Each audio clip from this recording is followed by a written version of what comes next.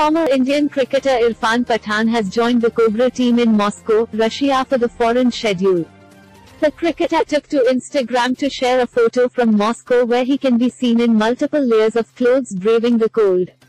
Directed by Ajay Gnanamuthu, Cobra features Chiyaan Vikram, Sridhanidhi Shetty and Mia George in lead roles. Irfan Pathan joins Cobra team in Russia. Ajay Gnanamuthu's Cobra marks the acting debut of cricketer Irfan Pathan. In the film, he will be playing the role of an Interpol officer named Aslan Yilmaz. As reported earlier, he is the main antagonist pitted against Chiyaan Vikram in Cobra.